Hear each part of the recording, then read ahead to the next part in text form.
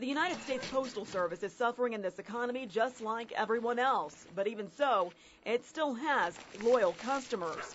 I have a P.O. box at the post office, which is very convenient for me. Some members of the American Postal Workers Union are concerned that convenience could be affected for people living in southeastern Kentucky. I've been with Postal Service 36 years, and I can tell you from personal experience, anytime they attempt to do anything that they claim is going to be more efficient and cost effective, it has a hurt it's impacted the service to the customers. In September, the Postal Service began working on a study that looks at whether outgoing mail from southeastern Kentucky should be shipped to Lexington rather than London for processing.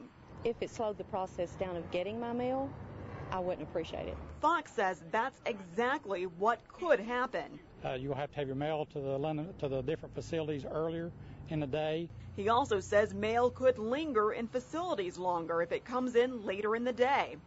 A spokesperson for the Kentuckiana's district of the Postal Service says they don't know if such a change would affect mail service until the study is completed.